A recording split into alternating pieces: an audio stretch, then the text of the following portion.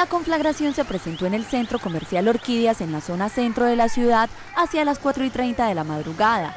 20 bomberos y cuatro máquinas lograron controlar las llamas. Basura y todo quemado. Todo, todo, todo. De los 51 locales que conforman el centro comercial Orquídeas, un almacén de ropa y una ferretería quedaron en pérdida total según sus propietarios. Pues estamos investigando, estamos esperando la aseguradora.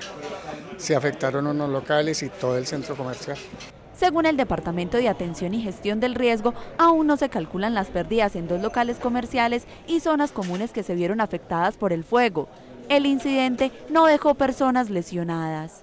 Yo apenas me di cuenta en el carro que me avisaron y entonces vine y el local pues no me pasó, no le pasó nada, pero encuentro esa catástrofe ahí más fuerte.